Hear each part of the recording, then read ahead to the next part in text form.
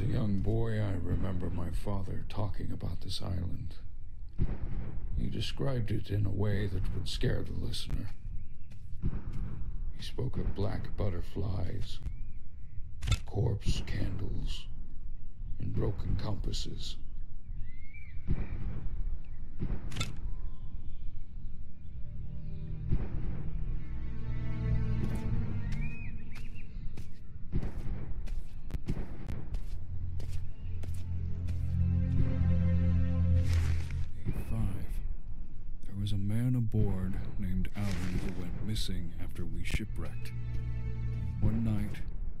Found him walking alone across the beach.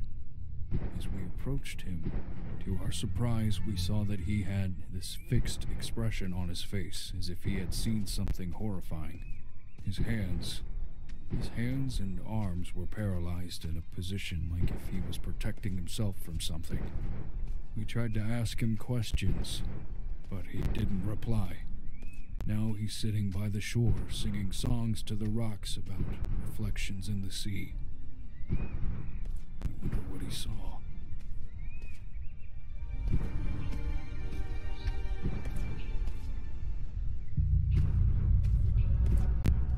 This island feels like it's maintained, untouched by time. The wind and the waves pause for a minute to rest calm before the storm. I'm sending this message as a cry for help.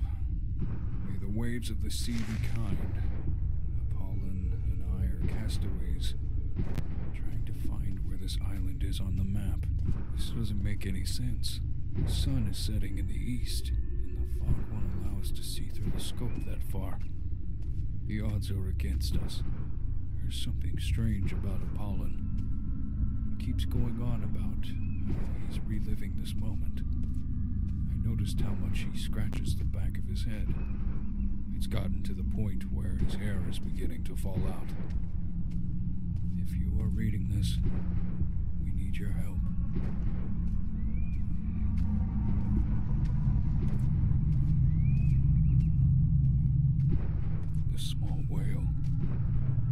Recognize this boat. It was made by an artist to represent our greatest catch. How did it end up here? This was meant to be completed by the end of December. It's still September.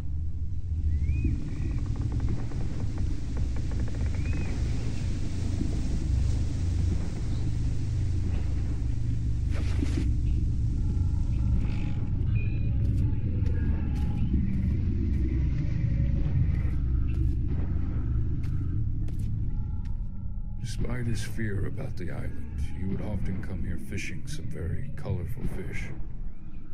I remember finding myself quite disturbed as I watched him stuff his mouth with their raw meat.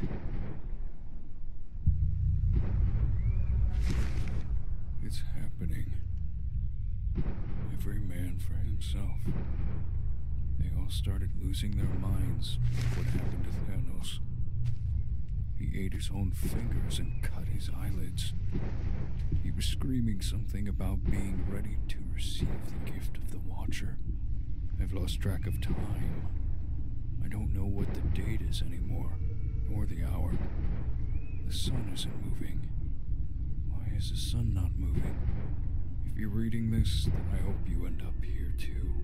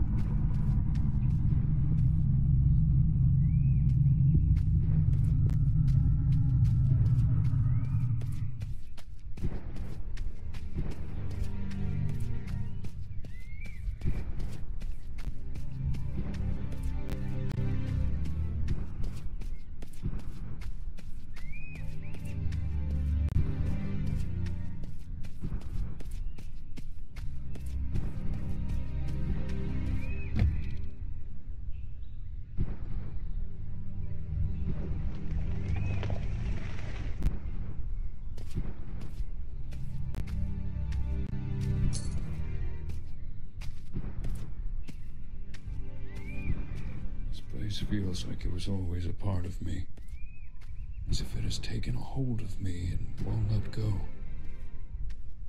Another foot in the sand, but this time sink deeper beneath the shore.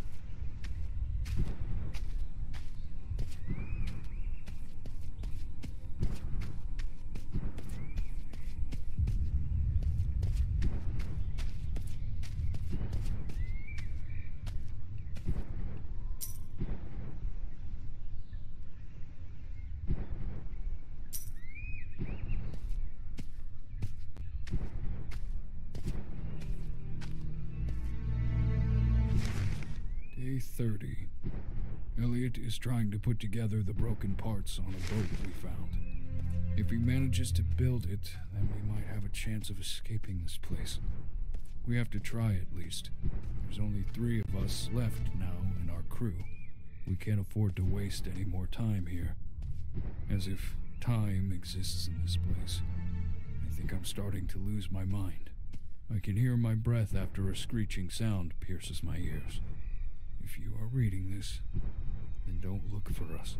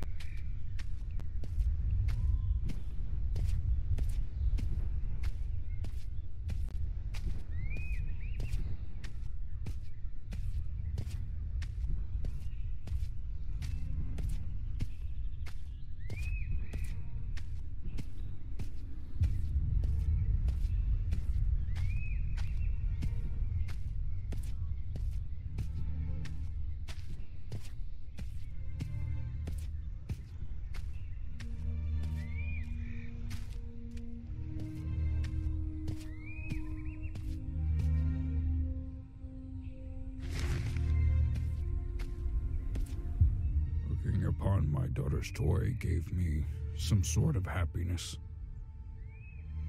And I can't take my mind off the idea she's been taken by one of those creatures.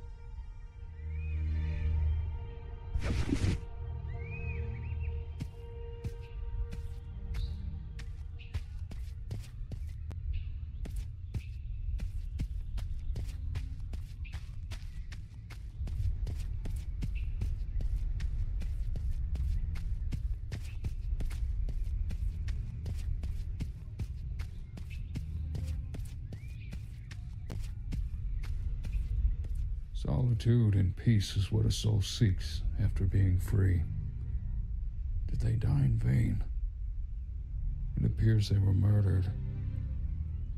What a horrible way to find solitude.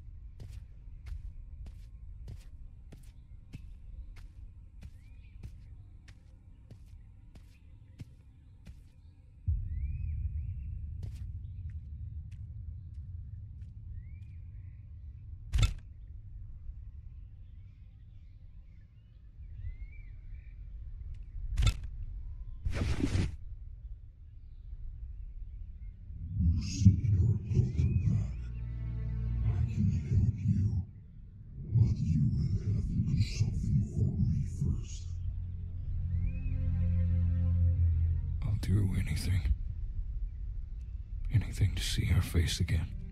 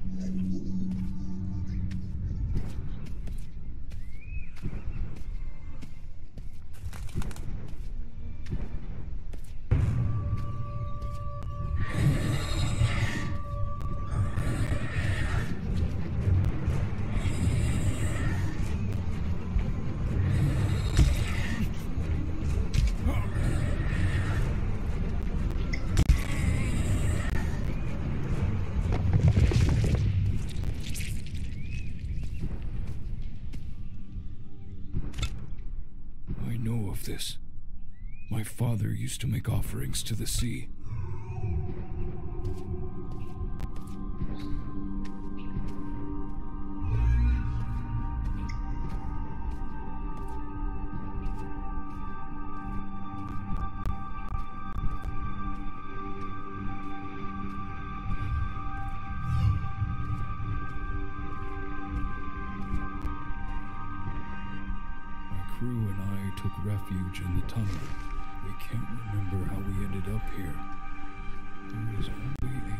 Glimpse of a vast dark memory that is accompanied by a whisper.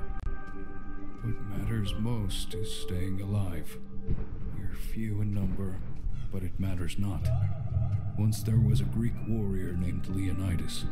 He and 300 of his men held off an army of 1 million.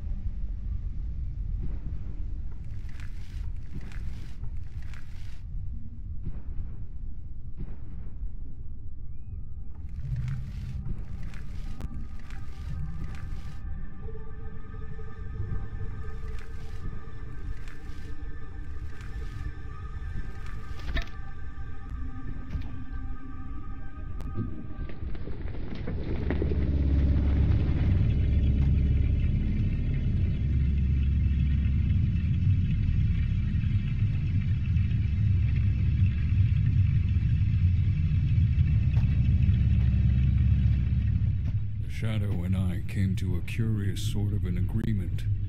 My lack of empathy has phased out any trace of fear.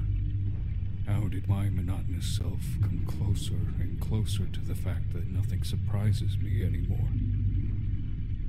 Have I lost my humanity? Not lost, but discovering its true potential. How far will you go, Andrew? How far would you go for her? I would fall into the darkest pit to save her. So be it.